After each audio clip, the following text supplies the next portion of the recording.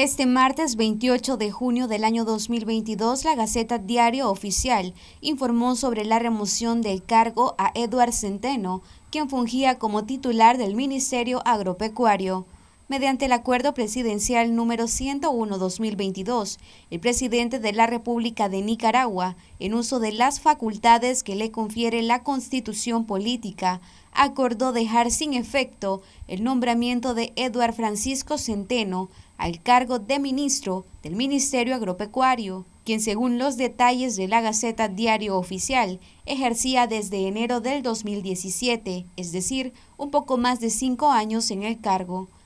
En la misma Gaceta Diario Oficial se conoció que nombraron a Isidro Antonio Rivera en el cargo de ministro del Ministerio Agropecuario, quien desde el 2017 fungía como viceministro de ese sector, por lo tanto, dejaron sin efecto su nombramiento como viceministro.